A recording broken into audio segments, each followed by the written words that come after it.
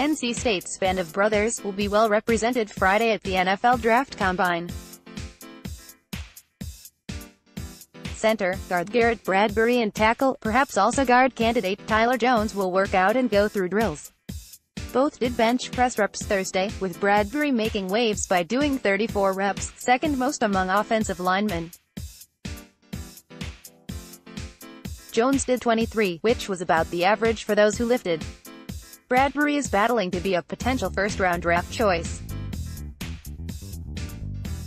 The Rimington Award winner for college football's top center and a consensus All-American is considered a safe bet to be picked within the first couple rounds. Jones, a two-time All-ACC performer, is expected to be a mid-round choice. A third offensive lineman, Terronne Prescott, will likely get close looks from scouts at NC State's Pro Day later in March. Talk about it inside the Wolf's Den. Subscribe to our podcast on iTunes. Learn more about our print and digital publication, The Wolfpacker. Follow us on Twitter, at The Wolfpacker. Like us on Facebook.